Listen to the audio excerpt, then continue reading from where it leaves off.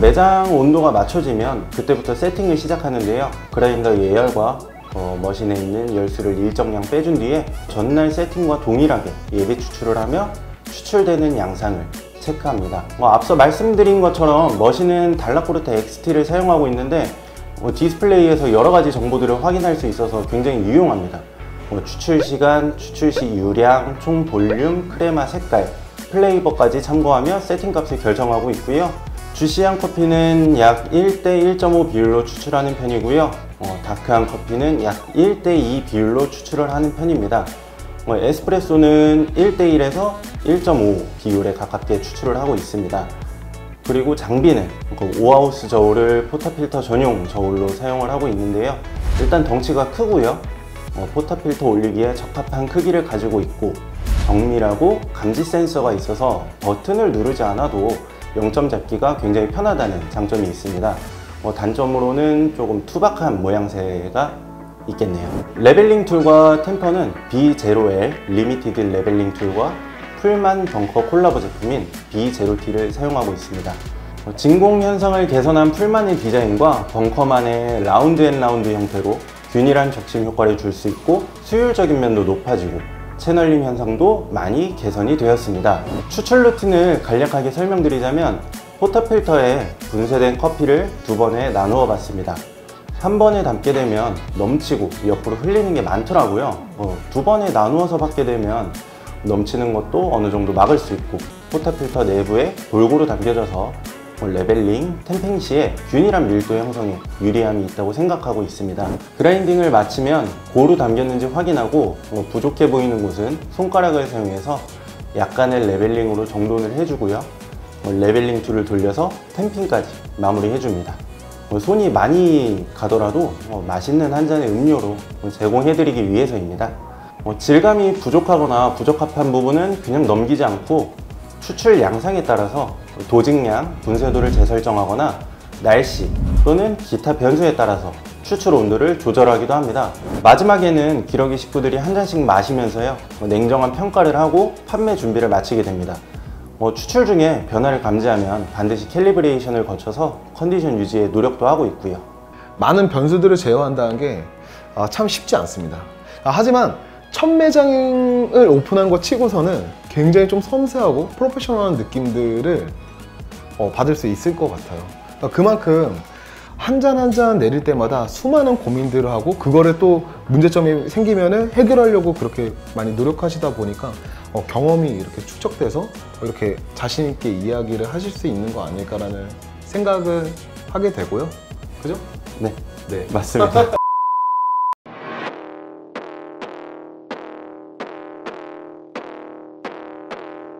You know I gotta come back. Audio Jungle.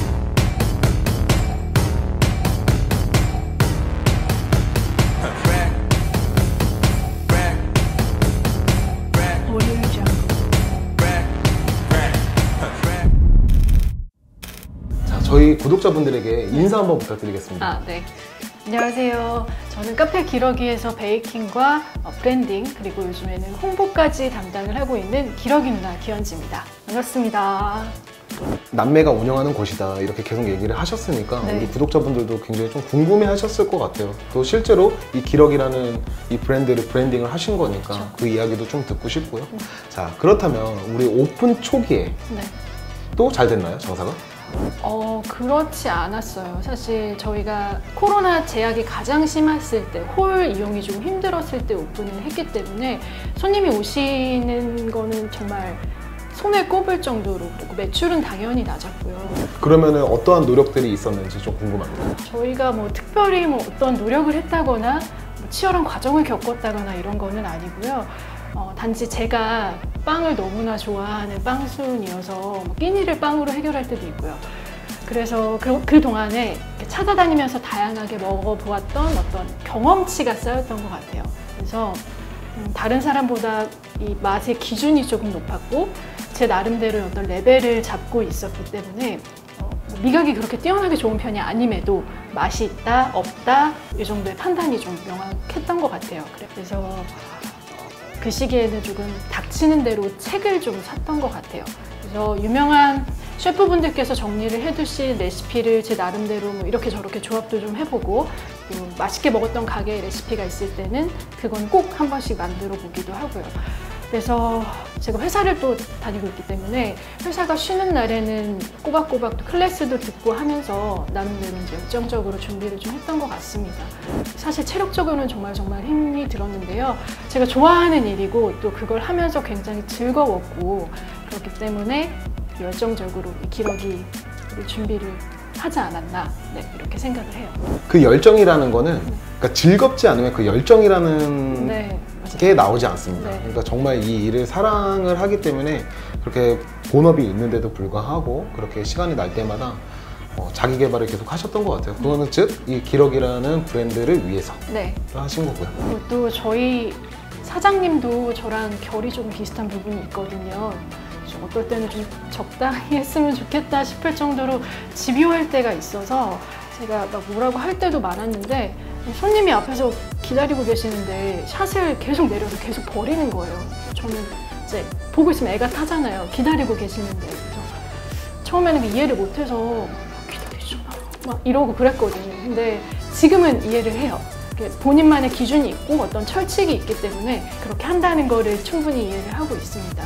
자 그렇다면 그 trendy함을 쫓아가기 위해서 혹은 내가 선도하기 위해서 어떠한 메뉴들을 이제 좀 뭐 선보였는지 좀 궁금합니다. 실례를 하나 들어드리자면 저희 메뉴 중에 청양 소시지 스콘이라는 스콘이 있어요. 드셔보셨던가요?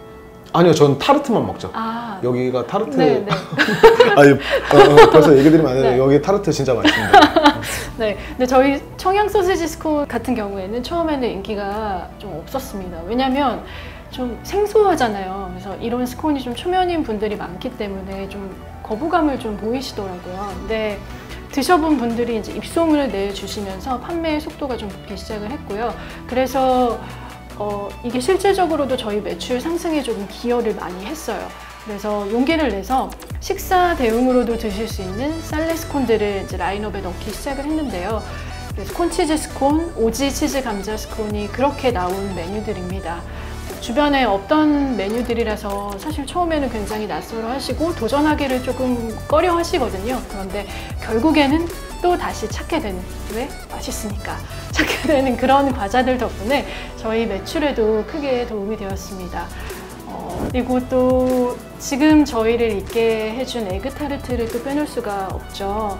에그타르트가 만드는 공정에 품이 조금 드는 편이라서 오픈 초기에는 매일 이걸 만들어낼 여력이 되지 않았어요. 근데 어, Sunday special로 일요일 하루에만 내놨었는데 반응이 너무너무 좋은 거예요. 저희가 12개를 한 번에 구워서 내면 뭐 1시간 안에 이게 다 팔리고 전화 주문이 계속 들어올 정도로 근데 이걸 그냥 저 그냥 일요일만 하기에는 조금 아쉬우니까 며칠만 더 해보자 하면서 이제 계속 만들다 보니까 정식 메뉴가 됐고 어, 지금의 어떤 명성 명성을 가진 에그타르트가 되지 않았나 싶습니다. 저희 남매 그리고 지금 함께 하고 있는 저희 매니저가 절대 이것만은 지키자라고 약속을 한 게 하나가 있는데요.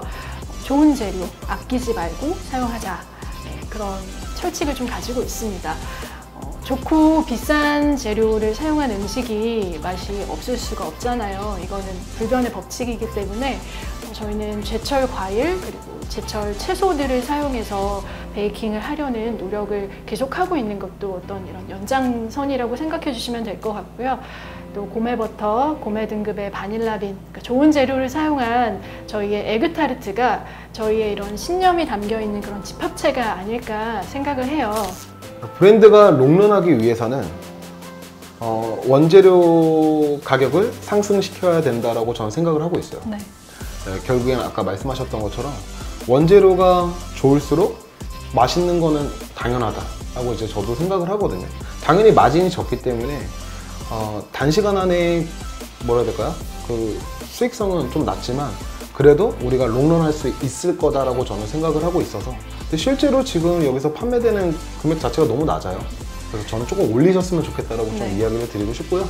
So come and fuck my life up, baby. Fuck my life up. 구독자분들께서 네. 야, 이 기러기를 방문하신다면 어떠한 메뉴를 먹어야 되고 또한 그 메뉴를 이제 느낄 때 방식들이 있잖아요. 네. 어떻게 먹었을 때가 훨씬 더 좋은지 이런 것들 한번 간략하게 소개 한번 부탁드릴게요. 디저트 중에서는 에그타르트랑 플레인스콘 추천을 드리고 싶어요.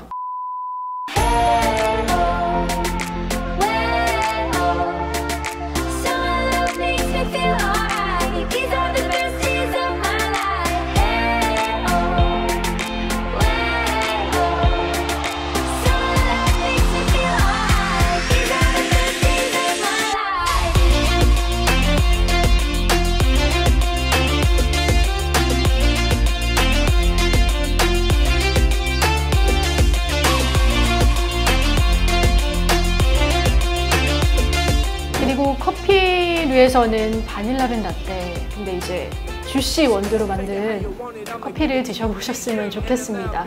어, 바닐라 시럽은 저희가 직접 만들고 있는데요.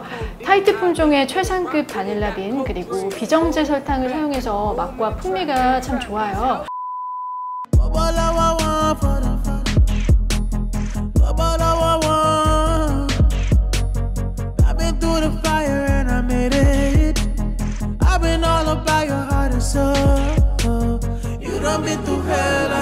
Wanna bring you back. Heaven is a drug you don't wanna do without. Loving you is diamonds and you so all of that.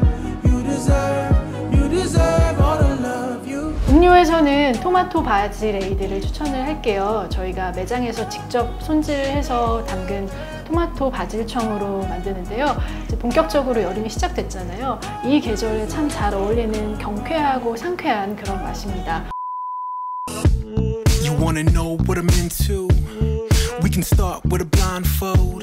You know the love goes deep, baby. Tell me what you info. I'm over the hill and under the brakes. Over the pain and under the faith. Over the past, I wash it away. Tell me if you looking to stay, yeah. Now we can get it in through the daytime. Or we can find the moon in the stateside. I know you got dreams we could chase, right? I wanna know what it tastes like. 드디어 이제 마지막 질문입니다. 실제로 이 카페 투어 편 같은 경우에는 예비 창업자분들이 시청을 많이 하세요. 그래서 우리 구독자분들에게 또는 이제 우리 예비 창업자분들에게 마지막 인사 한번 부탁드리겠습니다.